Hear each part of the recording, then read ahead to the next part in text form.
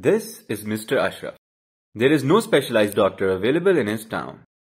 And even the fake doctors that are there are not able to do proper diagnosis of the illnesses. Their poor approach is not only causing the spread of disease, but also a waste of people's money. Due to all these situations, Mr. Ashraf remains depressed and hopeless. But now is the time for him to say goodbye to all his worries. Presenting Noor-e-Zia.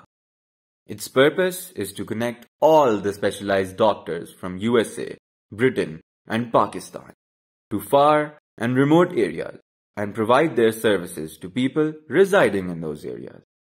Noor-e-Zia is making it all possible.